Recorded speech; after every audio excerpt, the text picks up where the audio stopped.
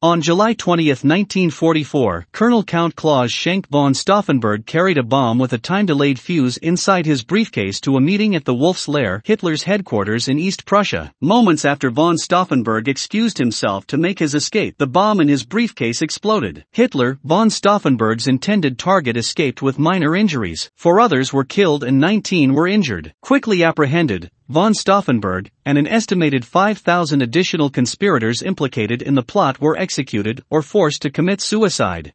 To commemorate his survival of the blast, Hitler commissioned a special wound badge, the German equivalent to the US Purple Heart Medal, to those who were killed or wounded in the assassination attempt.